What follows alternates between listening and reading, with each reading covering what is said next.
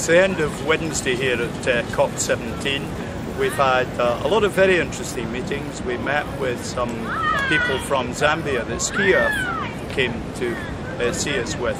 Uh, they told us how the money that Scotland's providing is helping farmers to deal with the consequences of climate change, to improve arable farming, to improve animal husbandry. And that was really quite impressive indeed as a demonstration of the practical effect that we can have in the world. Uh, today we've met the two UK ministers briefly. Um, it is clear from feedback that we're getting generally at the conference uh, that the kind of progress we'd hoped for is not yet being made. Progress, yes, but the pace is incredibly slow.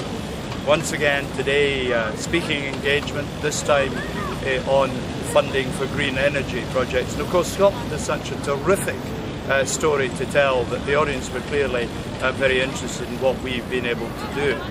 And at the end, just before coming to tape this diary, we met with the Chinese uh, Green Fund and were presented with a, a, wonderful banner with Chinese calligraphy on it, uh, which says low carbon.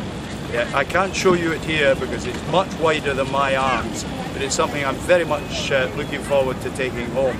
But even more, I'm hoping that we do get the kind of result that will be worth uh, taking home. We'll see what the answer is in a couple of days.